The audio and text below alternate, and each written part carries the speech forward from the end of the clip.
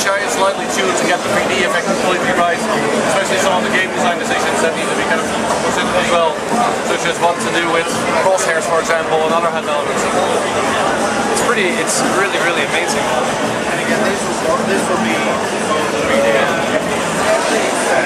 So you want to just uh, give us a little overview of, uh, you know, where you want to take the game, what players can expect. Okay. How you reload the game? Sorry? How you reload? Uh, this one doesn't have to be loaded yet, being for the demo. Oh, okay. Uh, so the one thing that we wanted to do for Killzone 2, basically Killzone 3, is basically kind of go a lot bigger and a lot better. So one thing that we want to do is get a lot more environmental variety.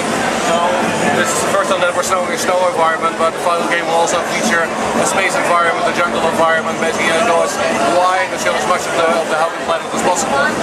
The other thing that we want to do is basically come up with a lot more freeform gameplay. So the Wasp is uh, the jetpack is a good example of that, but basically I really have to feel the essentially free combat. You go all around that, and you go from below or from above. And basically create as many different kind of combat routes that the player can find as possible. So that basically in general basically the, the combat has evolved a lot since Killzone 2 in that regard. And also in terms of pure mechanics, uh, we've introduced a whole new melee system which is now a lot more brutal, which allows you to kind of stab guys in the eyes or break their neck. Uh, but it's also context sensitive, so if you're standing close to cover, you like to kick him into the cover or kick him against the wall and then use the cover of the wall, bash his skull in or whatever you can do with, it. with that. Nice. Can also do the same to you apparently. What? I said they can do. They, they can also do the same to They you. can basically your because buddy- I got, I got cut there. The, the buddies and uh, like Rico for example can also do it on the enemy. So sometimes basically you're walking into a room and you see Rico strangling a guy there. How long did it take to implement the uh, the 3D?